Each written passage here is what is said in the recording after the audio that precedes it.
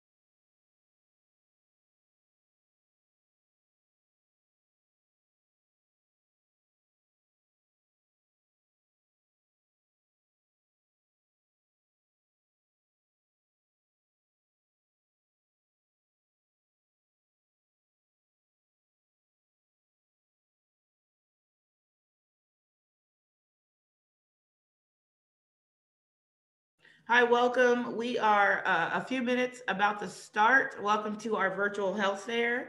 Uh, we have a few attendees. We're just setting up to go live on Facebook right now. Give us a few more minutes. Thank you for joining.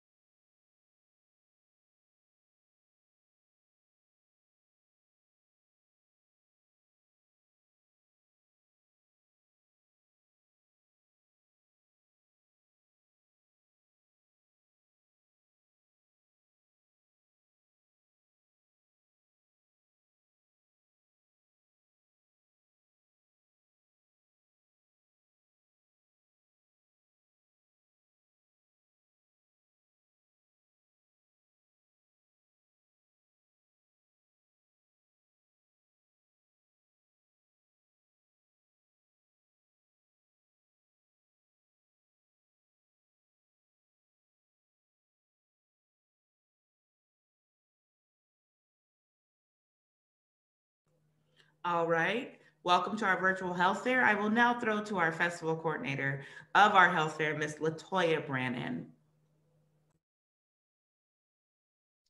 Good morning and welcome to the 32nd annual Savannah Black Heritage Health Fair. Today we're doing something very different. We're totally excited. We are having our first ever virtual health fair. We'd like to thank our sponsors, Savannah State University, South Arts, and the city of Savannah for helping us to make this presentation today. And I'm going to introduce you to our wonderful moderator, Mr. Cameron Walker from St. Joseph Candler Health System.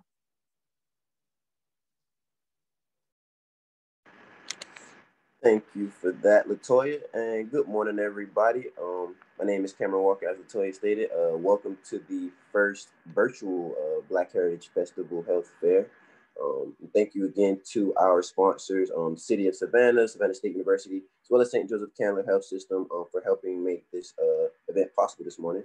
So uh, this morning we have some uh, panelist discussions lined up for you all, as well as cooking demonstrations and also um, some exercise, an exercise session. Um, uh, joining me today are representatives from MedBank, um, Planned Parenthood, and I believe we have someone here from Healthy Savannah as well. Um, so to start, do we have Miss Nichelle Hoskins here with us this morning?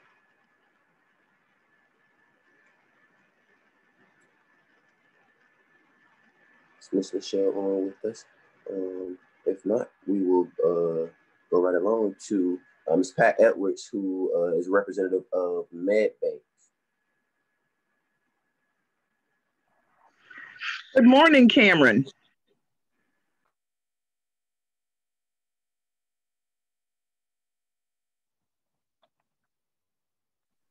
Oh, all righty. Um, Cameron, can you hear me? Yes, ma'am, I can hear you okay, great. Um, I had to turn my camera back on.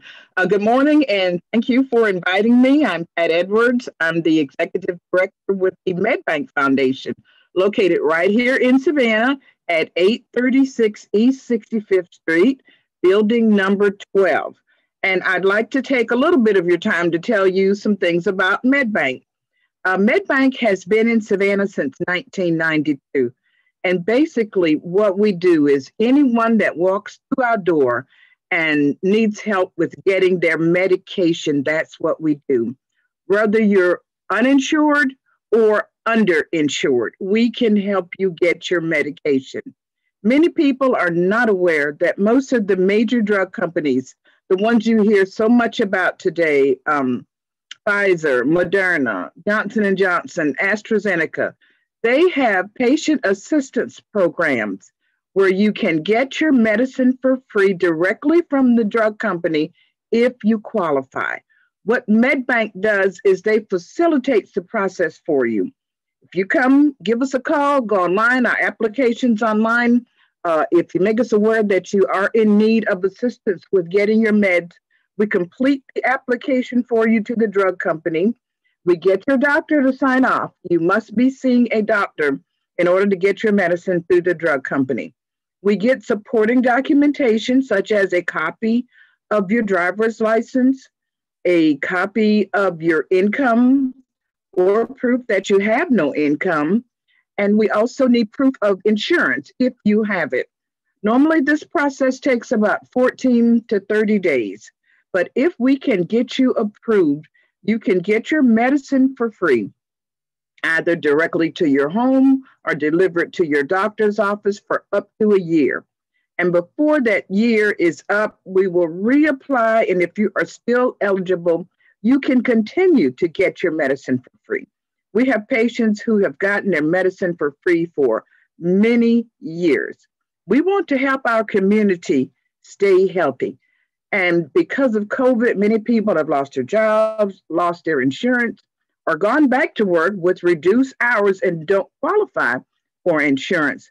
We are here to help you. As I mentioned earlier, you can give us a call. We're on the website at medbank.org. Um, I have my number listed. If you want to text or just talk to somebody, we can't help you if you don't contact us. If you give us a call, we'll do everything we can to help you get your medication. If you're diabetic, you can't do without your insulin. If you have high blood pressure or you're on heart medicine, you can't do without your medication. Give us a call and we'll do everything within our power to help you get your medicine. In addition to free medicine, we have supplies. Uh, if you're diabetic, and you're seeing your doctor virtually, your doctor has told you to monitor your blood sugar. You can't do that without a glucometer. We have glucometers. If you have a glucometer and you don't have test strips, you still can't monitor your blood sugar the way you're supposed to. We can help. We have high blood pressure machines, and um, I have high blood pressure myself, and I had to buy one of these machines. And the cheapest one I could find was $55 give us a call if you need a monitor. We also have nebulizers, and we have access to free eyeglasses for children and adults. If you need medical supplies, give us a call. Also, during COVID, we have been going all over town providing what we call COVID um, survival kits. We have masks. We have hand sanitizer. We have thermometers. If you are seeing your doctor virtually and you say, Well, doc, I don't feel good. Um, I think I have a temperature. You can't tell him what your temperature is if you don't have a thermometer. All of these supplies and our COVID survival kit are made to help you stay healthy. We want everyone in our community to stay healthy and vibrant and live their best life. So if you need assistance with your medication, if you need to be connected to one of the free clinics, give us a call. And we have eight offices. We have four in Savannah. Our headquarters, as I mentioned before, is on East 65th. Uh, we have case specialists located at St. Mary's on the corner of Henry and Drayton. Uh, we're in the J.C. Lewis facility, the new facility behind the mall. Uh, we are in the Good Samaritan Clinic in Garden City. Uh, we have an office in Hinesville, Richmond Hill, Pembroke, Effingham, and Statesboro. So no matter where you live in our service area, if you need help with free medication, give us a call. Thank you. Back to you, Cameron. All righty. Thank you for that information, Miss Pat. Really good information. Um, so please, uh, if you have questions, I hope you, uh, like you said, take down her contact information. Definitely get in touch with her uh, to see how, or uh, if you don't personally need those services, you may know somebody that can benefit from those. Um, church member, a family member, co-worker, neighbor, whomever. So uh, moving right along. Next, we have uh, Miss Julia Satterley from Planned Parenthood of Southeast Georgia. Thank you so much. I'm so excited to be here today. I'm going to share my screen with you all and so that I can talk about our services. Let's see. Oh, just a second, sorry. There has to be a tech issue or there is not a virtual event. There we go. All right. Um, as Cameron mentioned, thank you. I'm from Planned Parenthood Southeast. I am the health educator here in Savannah. So we have a health center, which I'll be talking about, and also education services, which are currently all virtual. Our health services include gynecological services, testing and treatment for sexually transmitted infections, pregnancy testing, all options counseling, abortion services, birth control methods, all types of birth control methods, emergency contraception, and our health center offers free condoms as well. We serve people of all genders. All people are welcome at our health centers throughout Georgia, Alabama, and Mississippi. Our Savannah Health Center is located off of Durin Avenue uh, at 720 East 71st Street. We are open Monday through Friday from 8.30 to 4.30 p.m.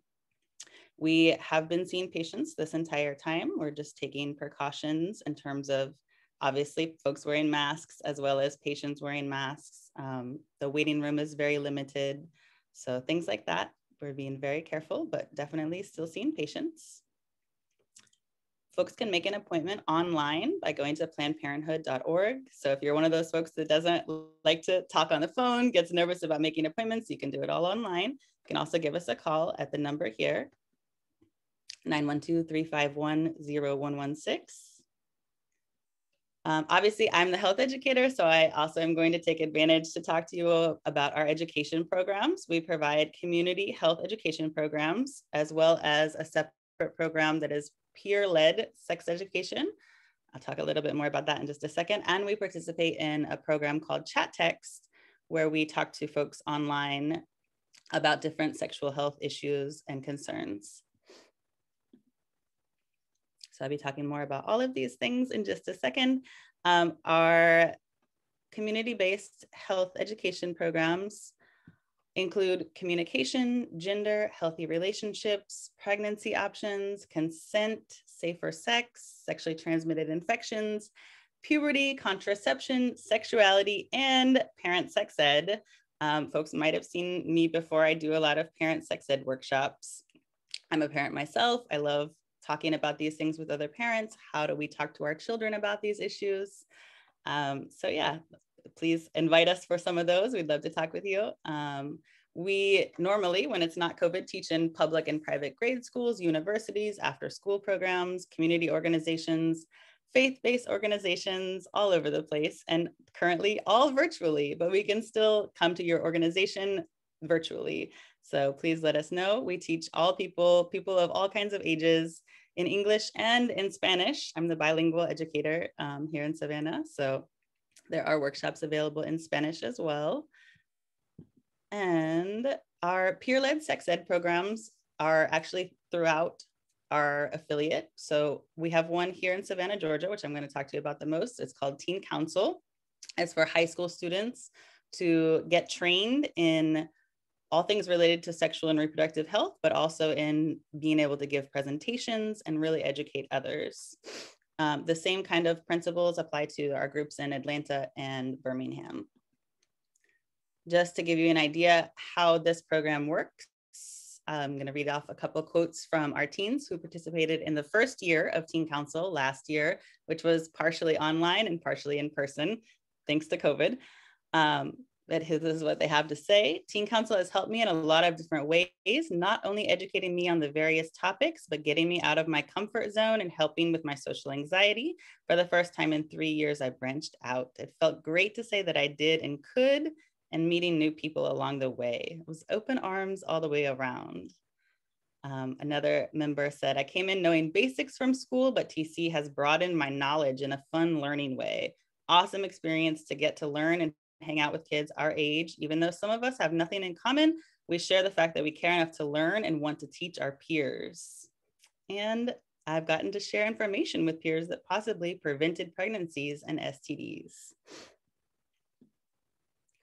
So there are some other quotes from members of TAG in Atlanta and TASH in Birmingham. I won't read through all of those, but you can see that these programs are a lot of fun for folks and they're really informative and important in our communities. Um, the chat text program is a text line and an online chat that connects our educators with people across the world. We definitely chat with folks out of the country as well to provide medically and non-judgmental sexuality education in English and Spanish. Our educators, um, just on our team here, have chatted with over 1,400 people since July. And you can reach our chat line by going online if you want to chat online, you can go click on um, Planned Parenthood chat and that'll take you to a link. Or you can also do it over text by texting PP now to 774636.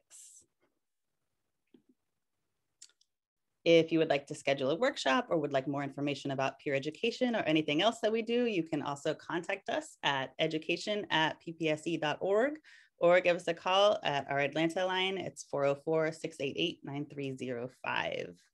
And that is all that I have. Thank you so much. Let me stop sharing my screen. There we go.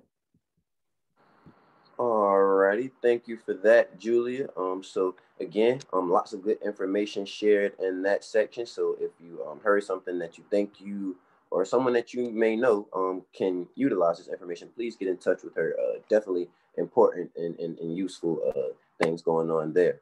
So our next speaker, oh, is me. um, so along with being the moderator for this morning, I am also the special programs coordinator at the St. Joseph Candler African American Health Information Center. Um, and a part of us, as, with us being a part of the St. Joseph Candler Health System, um, our mission statement, uh, rooted in God's love, we promote wellness, we treat illness and promote wellness uh, for all people. And a part of the way we go about living out that mission statement at the center is by providing 100% free services, um, namely our uh, computer classes, which is an extremely, just really, really great uh, program that we have going on, um, our health seminars, as well as our free exercise classes. So to start, um, as I said initially, our computer program is a, um, a really great program. The center's been open for uh, over 20 years now. Um, and with the computer class being free over the years of service, uh, several, um, many, many people in the surrounding area, not just Savannah, but in the uh, Southeast region, um, many people have come in and have been able to take these computer classes again for free and uh, go home and practice the skills or come back to the center and, and, practice the skills on our computers. and uh, go on to find employment as a result of that. So that's a really great, really great uh, resource that's offered right here in Savannah. Of course, uh, like many other companies and organizations, we have switched to doing the virtual um, uh, program. So the computer classes, coincidentally, are offered uh, virtually right now. So you don't even have to come into the center. You can uh, give us a call, um, and our person, our, my coworker that's over that, Miss Tanya, she will get you all set up with that and get the links to you so that you can be taking these classes from the comfort of your own home or wherever you have the internet access to take them. Um, again, it's free. Uh, we do have licensed certified instructors that teach those courses. Um, if you were to take them at their center, it would not be free. so again, just trying to, to stress the fact that these services are they're necessary. You can't even apply for jobs these days without knowing how to uh, use a computer. So we teach things, pretty much everything in the Microsoft suite. So Microsoft Word, um, Excel, PowerPoint, um, Outlook. I'm not sure if we're doing the quick, but we are teaching QuickBooks. We're doing QuickBooks virtually as well. Um, QuickBooks is being taught. Um, social media, how to use like Facebook, LinkedIn. Um, prior to the virus, we had a keyboarding class. Uh, where they, you know, taught you the basics of how to get around a keyboard, how to use that. So really, really good classes on pretty much any anything you could really would need to know um, on how to operate a, a computer.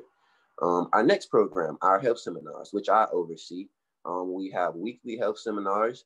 Um, I go out into the community and try to find speakers that have some uh, level of expertise on topics to uh, come out to our center. And since the, the virus, again, we've been doing this virtually. Um, but it's been going really well. We've been able to reach a lot of people again at their homes. Um, coming up, uh, our, our, next seminar I want to say is Does Food Affect Your Mood? Um, and Miss Ella Williamson, my supervisor, will actually be doing that seminar. Um, uh, following that, we have our monthly morning chat. Uh, this month's morning chat topic is COVID 19 scams. And if you're like me, you're probably sick of hearing COVID 19, uh, but we did give it that name because, albeit uh, most of these cyber tricks or scams are not new at all. But over the last year, some of the cyber criminals have found some new, new uh, clever ways to try and get your money. So uh, we have that coming up. And our movie night towards the end of this month, we will be showing The Butler. Um, again, all of those things 100% free. We have tons of speakers come in from many different organizations. Many of the speakers that you heard uh, today, we've done things with them as well. Um, so definitely, if that's information that you're interested in, I will place my email in the chat as well as um the center's phone number, so you can get in touch with me. Um, and also join our email list if you're if you're interested. That's just something where I send out updates weekly about uh, the seminars we have coming up, um, and also information that I get sent um from uh, other other members in the community that I work uh, work with sometimes. And then lastly, our exercise program, uh, which is another really great program we offer. Again, 100% free, won't cost you anything, no hidden costs at all. Um, right now, we're offering three courses, uh, three classes rather. On Mondays, we have our dance cardio class, um, which is a little spin on the traditional dance classes where you have an instructor and you follow along. It's basically like a dance party where you, the uh, the attendee, you have the control to really kind of set your own tempo and your own pace uh, during that hour. The goal is for you to get your heart rate up, as the name says, the dance cardio class. Um, that's the biggest point in, in exercise, trying to get your heart rate up. Um, so you can join us on Mondays from six to seven um, for that. On Tuesdays, we have our first yoga session, again from six to seven. And then on Wednesdays, we offer uh, an additional yoga session, also from six to seven. So um, those are taught by separate instructors. Um, a little different focuses in each class. Um, but again, really good classes. Uh, yoga is really good for obviously stress reduction, um, learning to be more compassionate to yourself, which all of us could probably use a lesson on. Um, I know I could, considering the last year that we've gone through. Um, so yes, if those things sound like something that you're interested in, as I said, I will place my uh, email in the chat, um, and that way you can you can get in touch with me. I place the email and the center's phone number it is 6 to 7 p.m., not 6 to 7 a.m., 6 to 7 p.m. for each of those classes. Um, I think I've touched on pretty much everything um, that we have going on right now. So thank you all for your time and thank you for having me on the panel this morning. At this point, let's see. Latoya, do I send it back to you? Thank you, Cameron. we do have a question um, that has been received, and this question is for Julia. The question is, is parental permission needed to participate in the Teen Council program? Hi, thanks so much for that question. Yes, we do need parental permission to participate in Teen Council. For our virtual workshops that are for teens, those are free and accessible, and we don't need explicit permission for those. Uh, but to participate in Teen Council, which is all virtual at this time, yes, folks do need to um, get parental permission. And we have an application form that interested high school students can fill out and I would then contact their parents after I talk with them as well and after they fill out an application. Um, but yeah, our teen council application can be found online. If you look at Planned Parenthood Southeast, then you can go to education programs and find the links there, or they can also email us again at education at ppse.org and get our application link as well there. Thanks so much. Thank you. And we do have a question for Ms. Edwards at MedBank. And the question is, can I do my application online if I need to receive services from MedBank, or do you need to come to your offices? Oh, yes, ma'am. Our application is online at medbank.org. Um, if you're able to download it, you can fill it out. You can fax it, you can email it, you can drop it in the slot in our door or you can use snail mail. As soon as we get it, we'll reach out to you. So, no, you don't have to come into the office. The application is online. Thank you, Ms. Edwards, for that. I would like to take this opportunity to thank all of our panelists for their participation today. We will be sharing with you their email addresses, their telephone numbers, and their website address if you aren't able to see it in the chat. We'd like to give a special thank you to St. Joseph Candler Health System for being the sponsor of our health fair. And now we are going to enjoy a wonderful treat. We have Coach Nikki from Burn Baby Burn, who's going to show us how to do a workout in our homes. Coach Nikki. Okay. All right, all right, all right, all right get this together. Good morning, everyone. Let me adjust myself. Okay, we're good. Okay, so good morning, everyone. My name is Coach Nikki Conley. Some people call me Coach KC. Um, and I want to welcome you again. I know you've been welcome before, but I want to welcome you again to the 32nd annual Savannah um, Black Heritage Festival. And I'm so excited to be a part of this again. It was so nice. They asked me to do it twice. So we're gonna uh, do some low impact workout today. Um, and I promise you we'll have some fun while we are doing it, all right? So uh, without further ado, let me, let me tell you what I, I do have. You're gonna need some space. I got a little rag and I have some water. So get your water and a little rag because you might sweat a little bit, but if you do, that's okay. As Cameron said, you want to get your heart rate up. And so that's what we're going to do today. We're going to get your heart rate up. Okay? So let's go ahead and get started. All right? Um, we're going to start with our warm up. We're going to start with our neck. Okay? So what I want you to do, I just want you to turn your neck to the side. You're going to take it down. To the other side. Back down. To the other side. Back.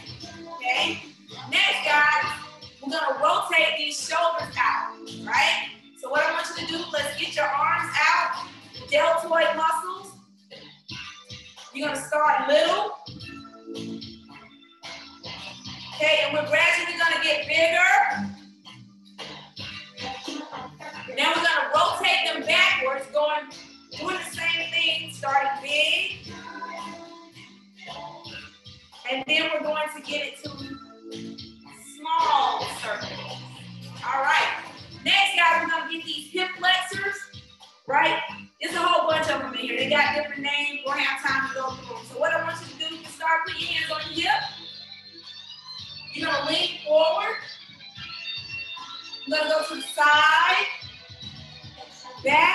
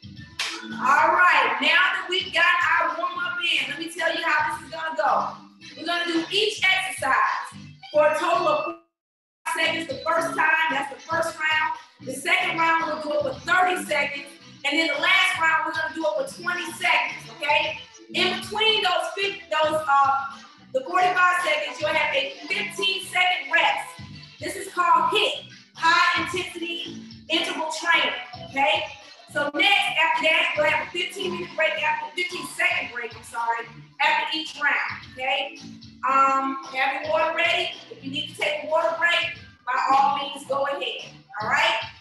So, let's get started. The first thing that we're going to do, um, I call them hand lift leg tap. So you're gonna take your hand, go up and tap this foot back, bring the hands down, alternating feet, okay? So here we go. Low impact, guys. Ready, begin. Come on. Give me a good 45 seconds. Keep moving. Looking good, guys. Yes. And this is working all of your body. Upper body as well as lower body. Okay?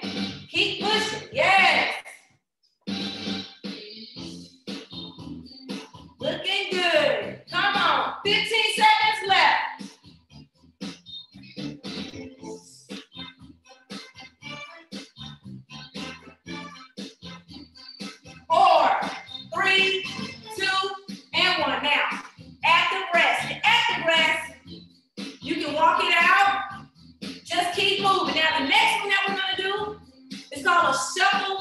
Knee raise. So it's one, two, three, knee raise, one, two, three. Okay, guess what, guys? That's 15 second rest. Here we go. Next one, shuffle and then leg raise. Begin. One, two, three, shuffle. I'm sorry, one, two, three, knee, shuffle, shuffle, shuffle, knee, shuffle, shuffle, shuffle, knee. One, two, three. Uh. Yes. Yes,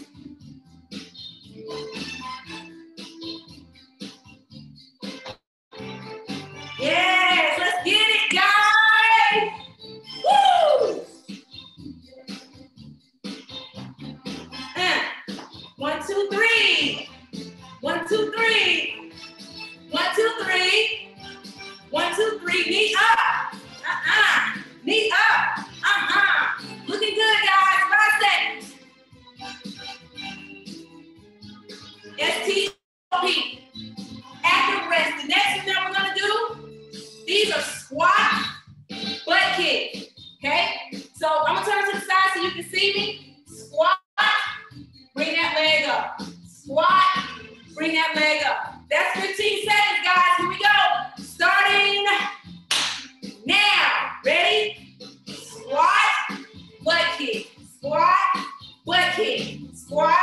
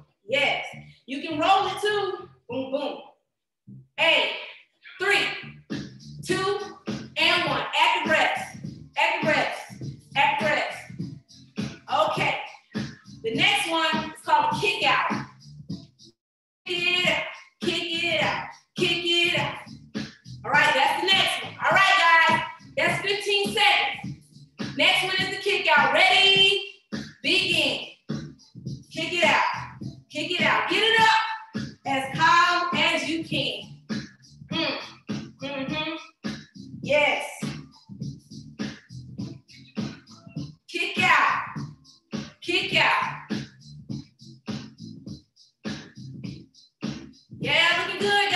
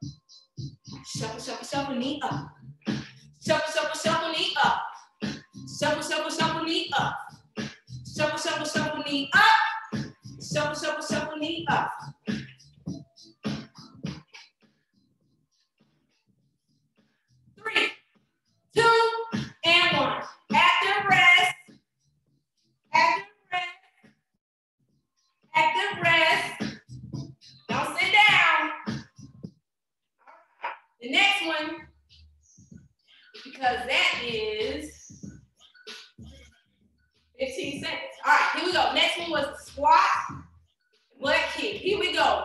Ready, begin. Squat, butt kick. Squat, butt kick. To the side, squat, butt kick. Squat, butt kick. Squat, butt kick. Looking good, guys. Uh-huh. Good job.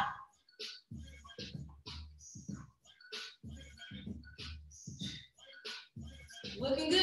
Low impact today, baby. Three, two, and one. Active rest. Active rest. Don't sit down. Okay, guys. Guess what? That's 15 seconds. All right. The next one is a punch out. Punch out. So here we go.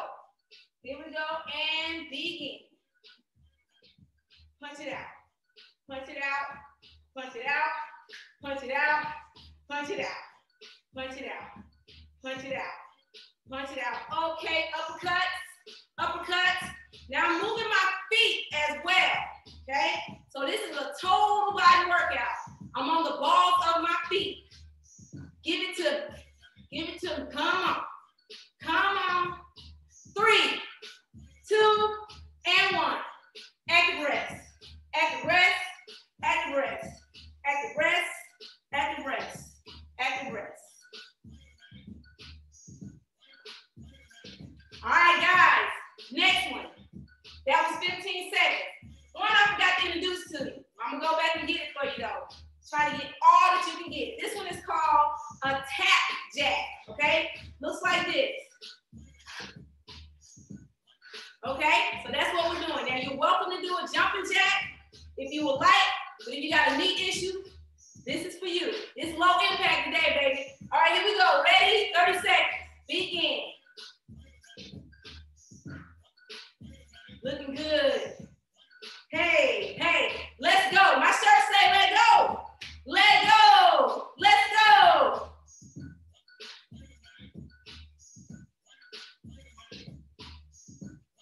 Let go.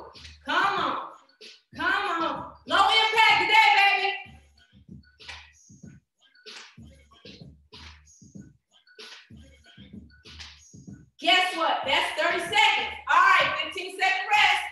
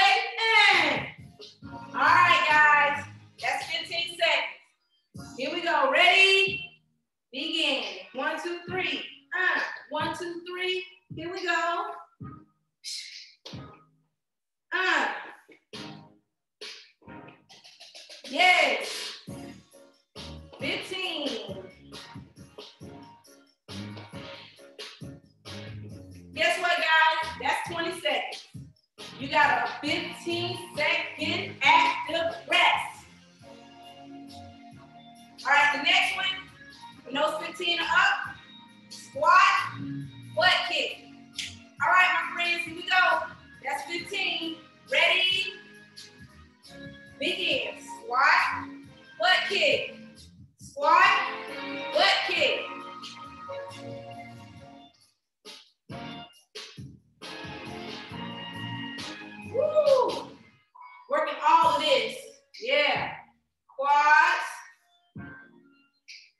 We good. Guess what? 20 seconds. 15 second rest. Next, we got the tap jacks. All right, tap jacks.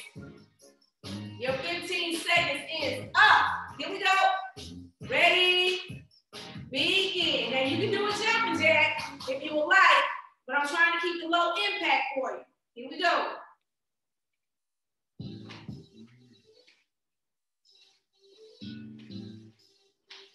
jump rope and jump if you like. Guess what? 20 seconds. In. All right, the next one, we got 15 second rest. We got punch out. Punch out. Move the legs while you're punching out. And rest. All right, guys, here we go. Ready? Punch it out. Punch it out. Move the feet. Move your feet. Move your feet. move around. Punch, punch, punch, punch, punch. Yeah!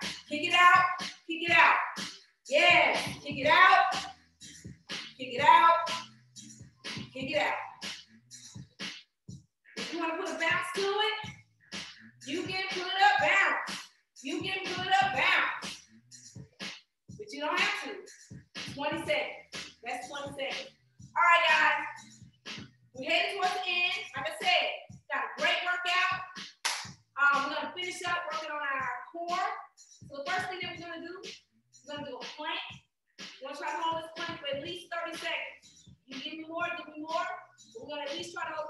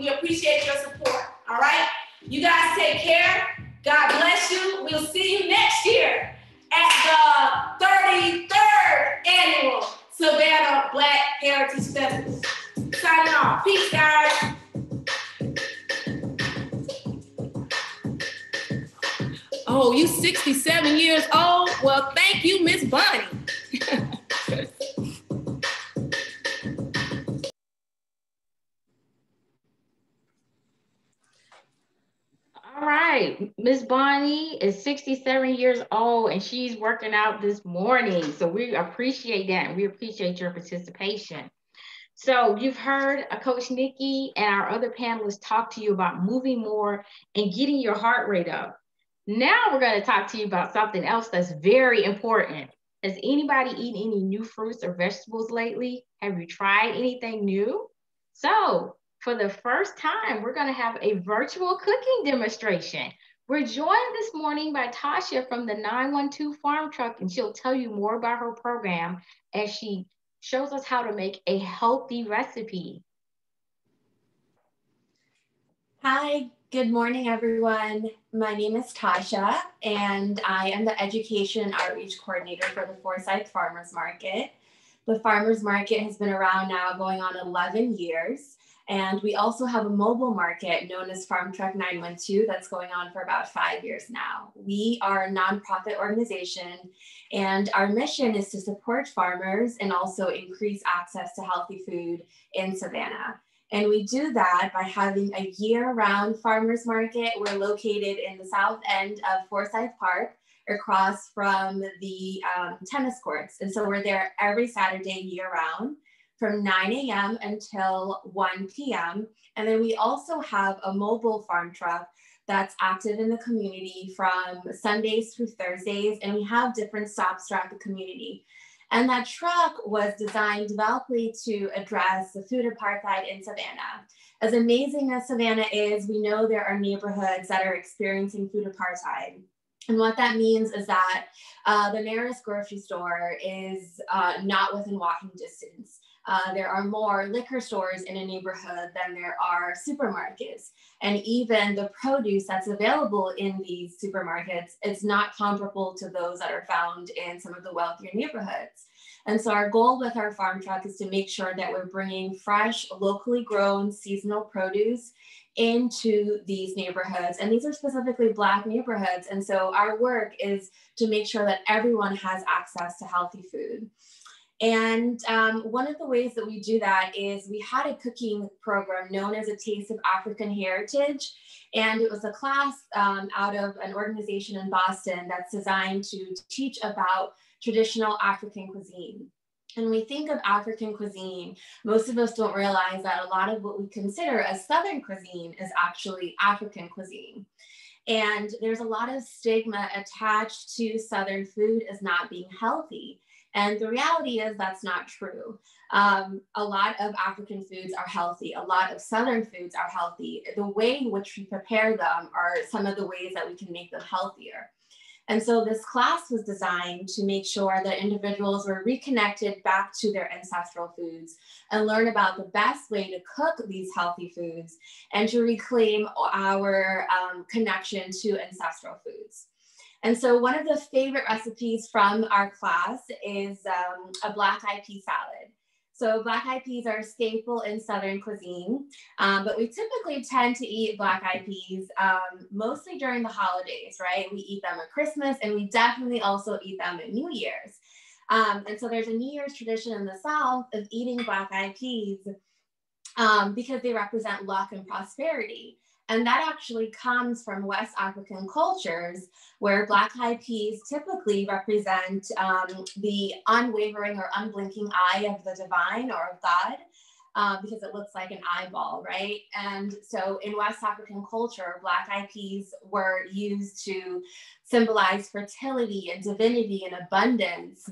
And they were actually cooked by wealthy individuals and given to less fortunate individuals um, to remind them of um, reciprocity and abundance that was present in their life.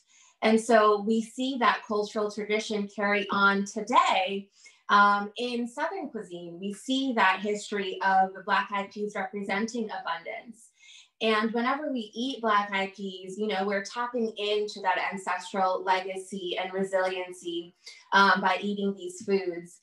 Um, one of the things that we know about black eyed peas is not only are they native to West Africa, but they were actually brought over. Um, historians think they were brought over in two ways. One, they were brought over to feed enslaved individuals during the transatlantic slave trade. Um, but they were also brought over by enslaved individuals, and we believe they were actually braided into their hair. And so, if you think about when you cornrow your hair, you know, there are ways to hide small things. And so, historians actually think that our ancestors hid things like rice grains and uh, things like beans and black eyed peas into their hair as a way of survival and to plan for this journey ahead. And so, again, whenever we're eating these foods, we're tapping into that cultural um, resilience and legacy. And of course, black eyed peas are really healthy, they're full of fiber. Um, and anything that's dark in color is rich in antioxidants. So it's always great to add it to our diet.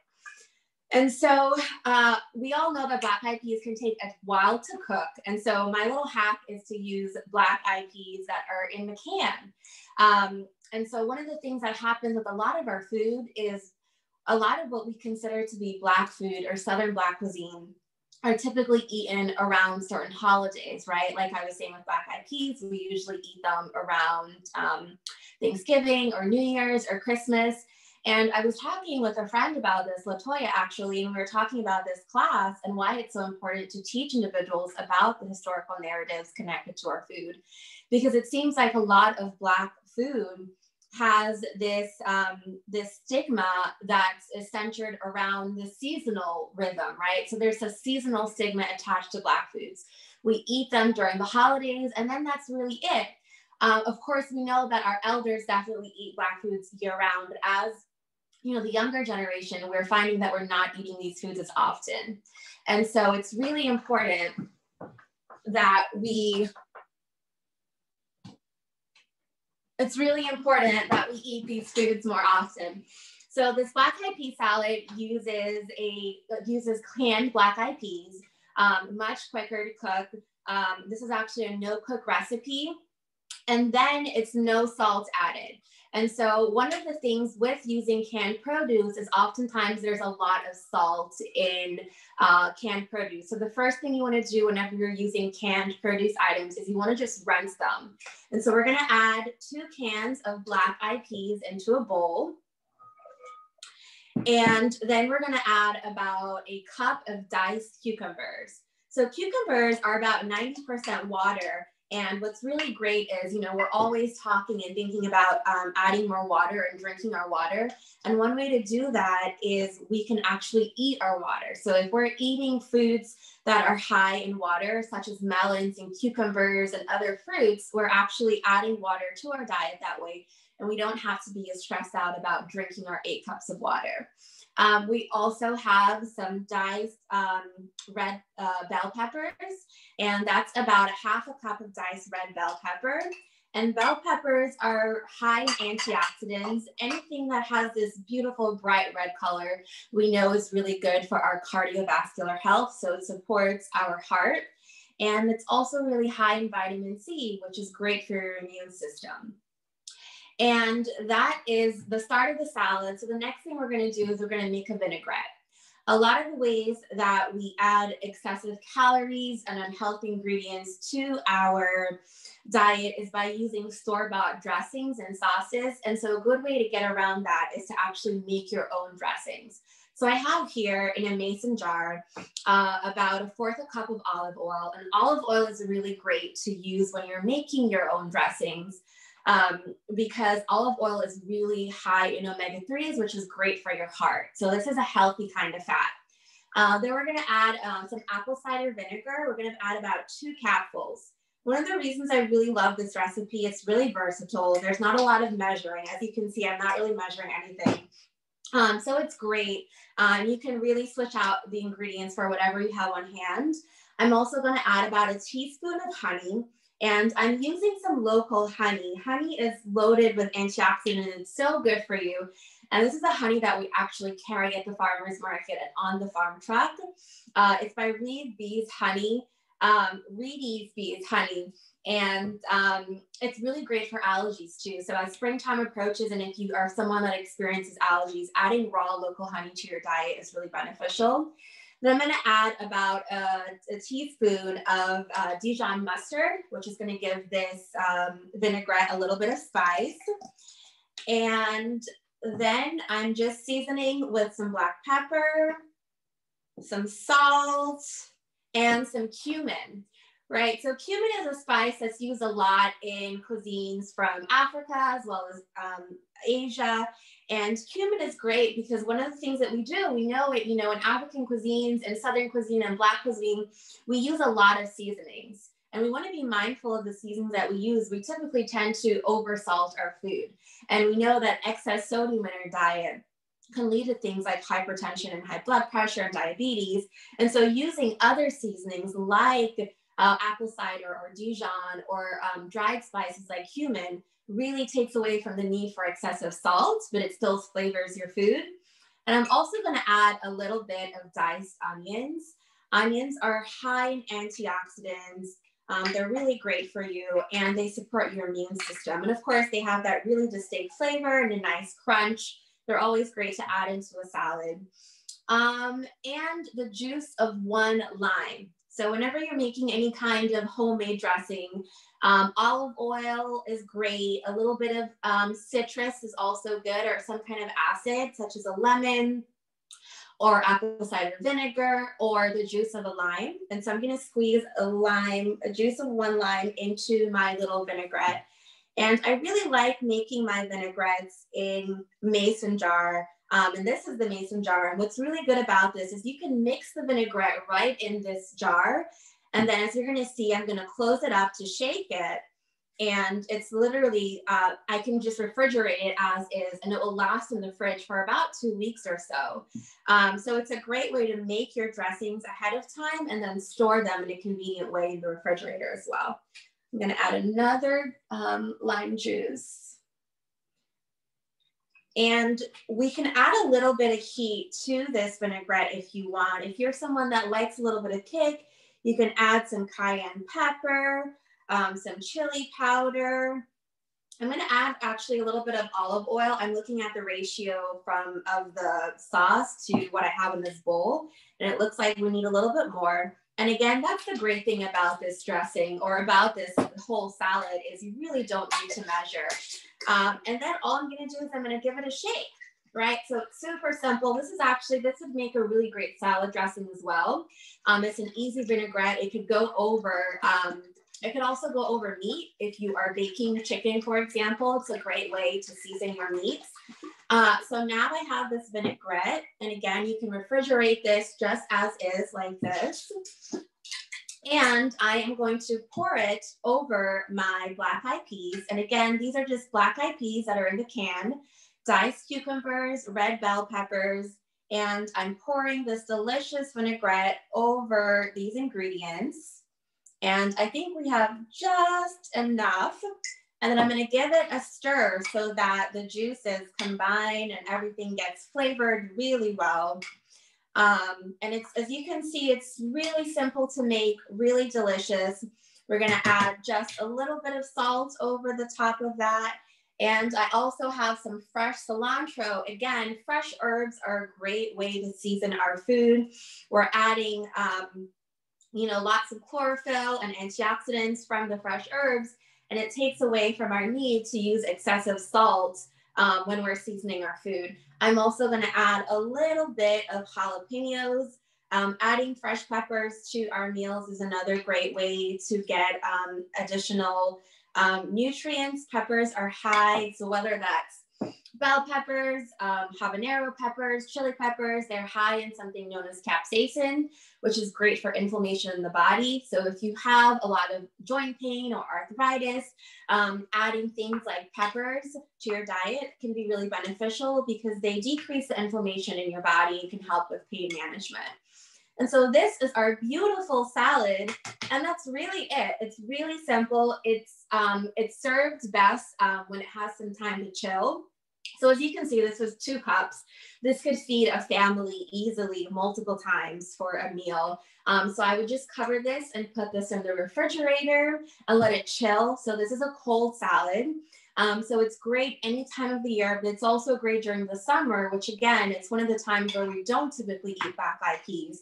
And it's really simple and easy to make, really affordable as well you know, two cans of black eyed peas, um, you know, less than $2 in the grocery store. And then these are usually kitchen staples that most of us have on hand.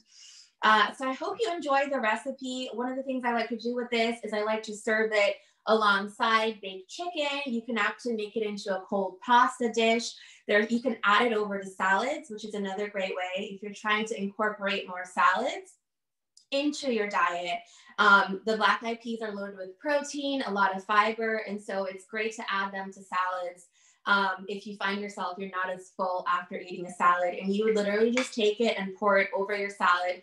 And the great thing is there's this dressing on there, so it, your salad already would have a dressing, and there's more dressing left over to be used as salad dressing.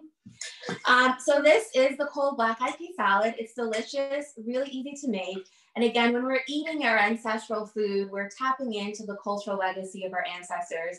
We're tapping into delicious produce that's a part of our history. You know, there is the stigma that Black food is not healthy, that Southern food is not healthy, that African food isn't healthy. And that's absolutely untrue. And we find that actually the more food that you eat, um, similar to your ancestors, the healthier you become. There have been so many studies that show if you go back to eating the way your ancestors ate, um, you actually are healthier because, of course, they were eating less processed foods. They were cooking more. They were using fresh produce. And so we hope that you are able to make this recipe, try it out. Please let us know if you like it you know, at the Forsyth Farmers Market, we're not currently doing any classes. So our Taste of African Heritage class is on a break because of COVID. So we don't have any classes coming up, but we're always doing things virtually. Uh, our market is year round. So the farmers market is actually going on right now. The farm truck is also open and um, in the community.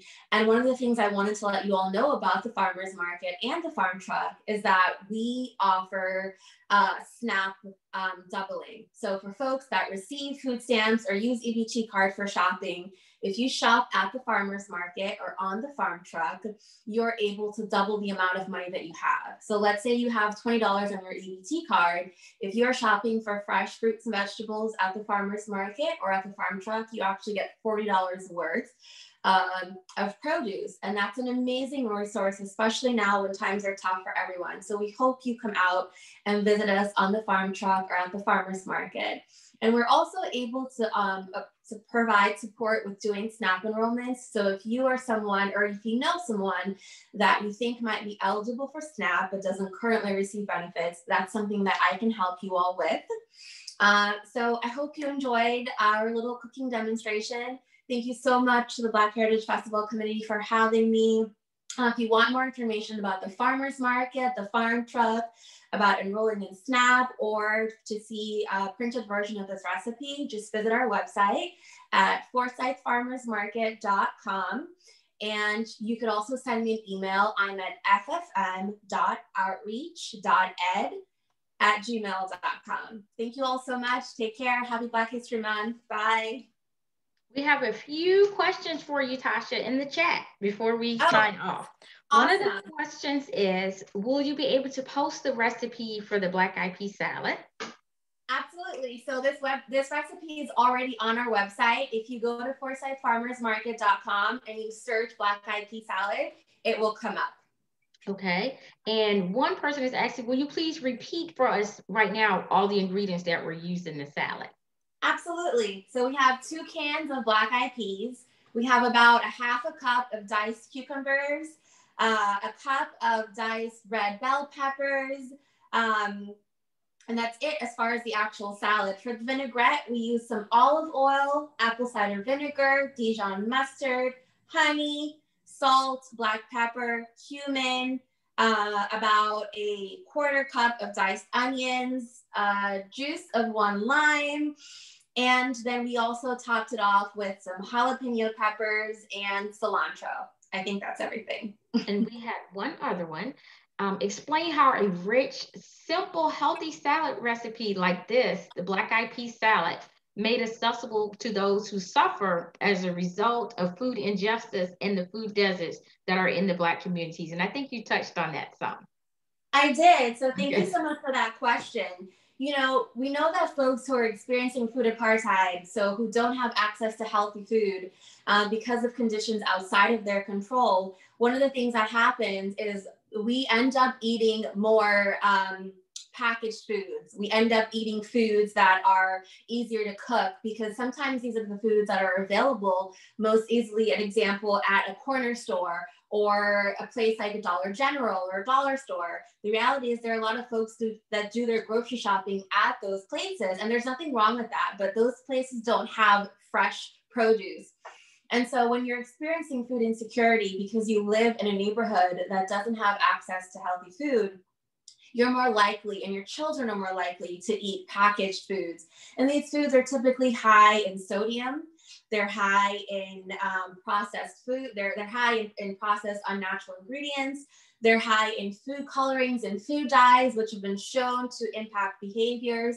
And so children growing up in these conditions, for example, might have what we would look like ADHD, but in reality, they're just really not able to concentrate because they have an excess amount of sugar and food dyes in their body because that's what their families have access to. And so, you know, one way for us to combat that is by eating more healthy, fresh produce.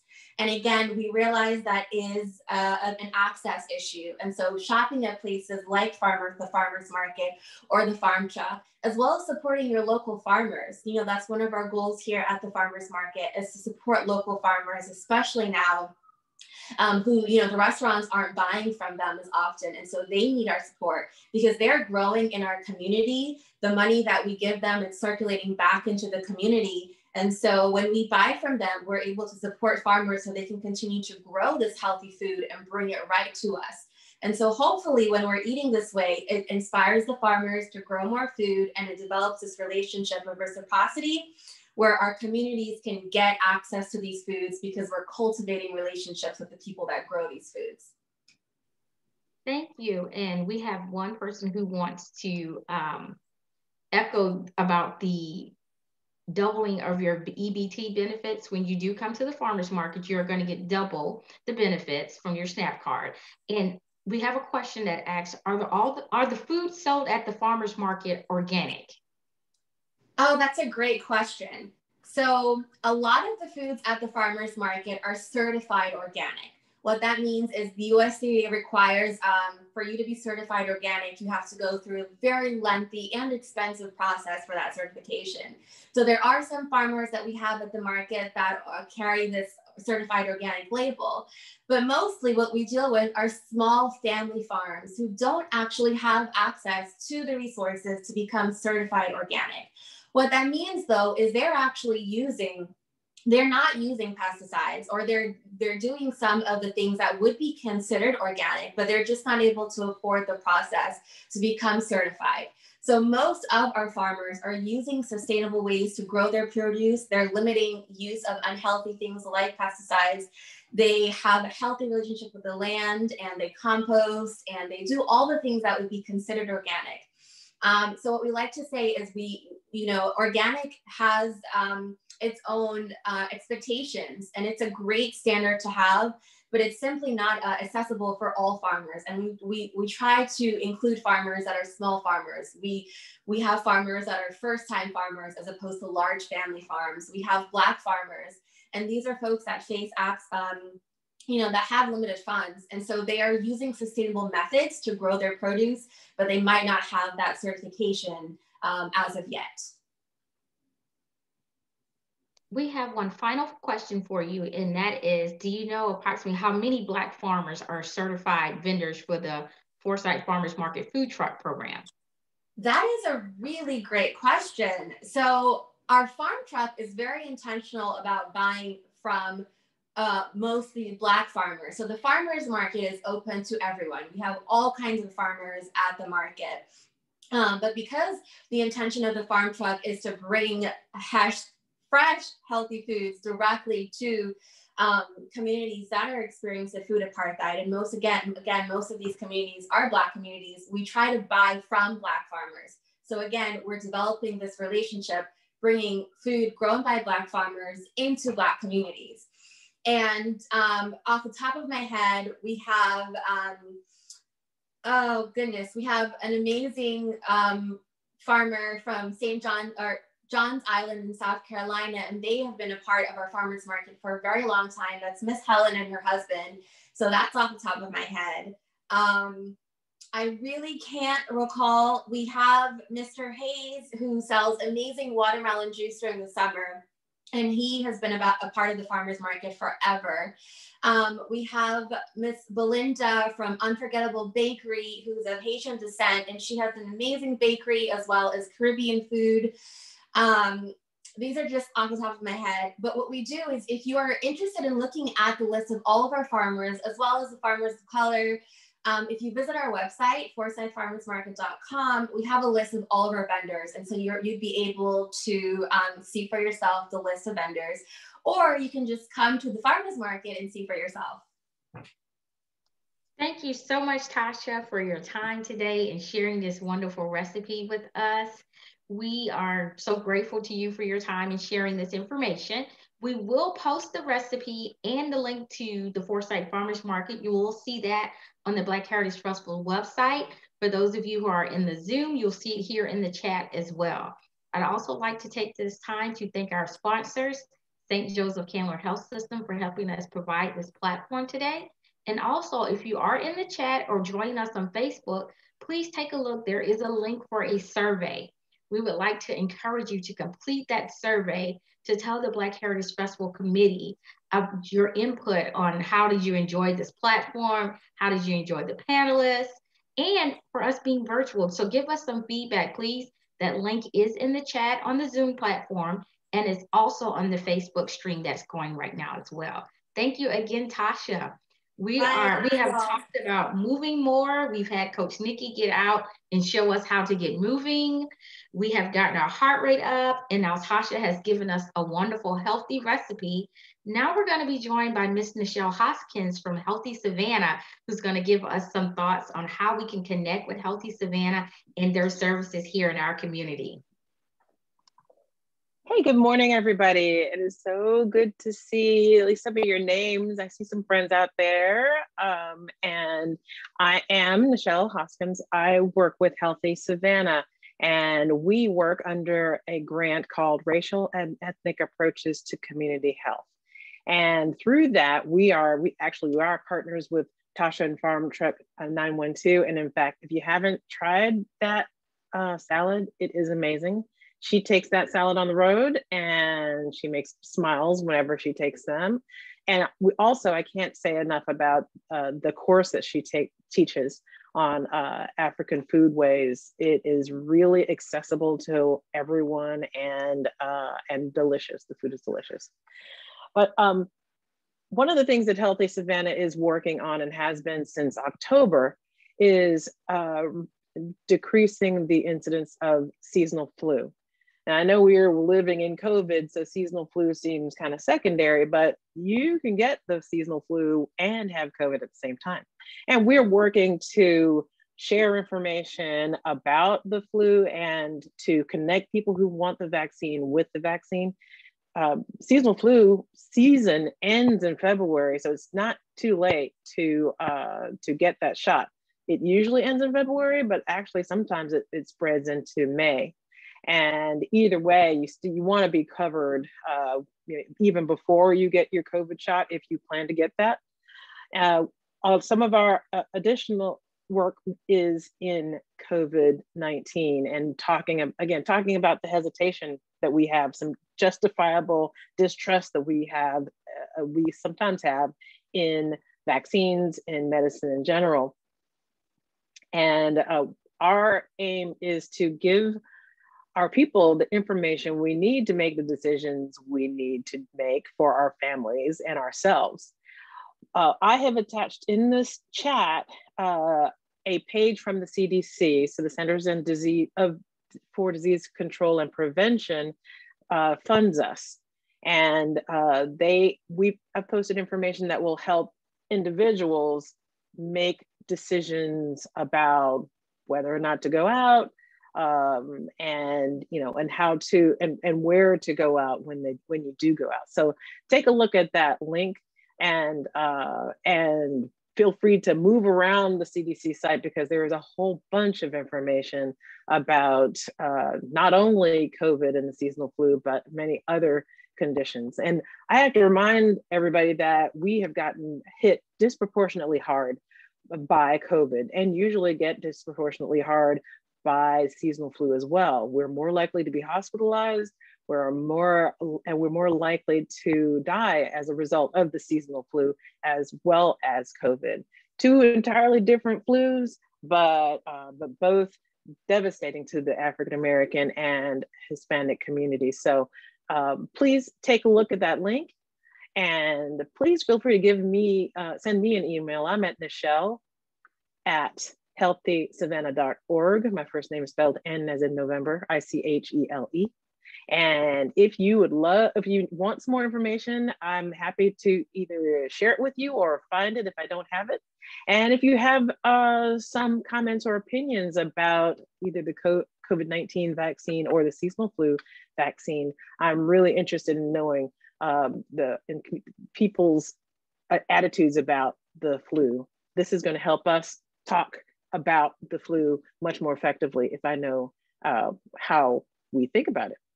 So thank you so much to everybody, to Latoya and everyone for having, uh, letting me bring up the rear. And uh, hopefully next year I'll be able to see you face to face. Thanks. Thank you, Nichelle, for sharing that with us. And we do hope next year we will be face to face doing this. Again, we're going to share Nichelle's email with you and the Healthy Savannah website if you haven't seen it. We will put that on the Facebook stream as well as in the chat here for those of you who are joining us on Zoom. I would like to thank you guys for joining us today. We'd like to thank St. Joseph Candler Hospital System for being our sponsor today. We would also like to invite you to join the virtual vendors booth. Those are open. You go to SavannahBlackHeritageFestival.org slash virtual events, and there you can see the vendors who are still selling their items. Even though we aren't in person, the vendors are still selling items to you and would be happy to communicate with you about shipping or how to get you those items. Also, there's a next event today. It begins at one o'clock. It is called the Author's Corner. So we're going to have self-published authors promoting their books, sharing with you and telling you where you can get their books and what they're about.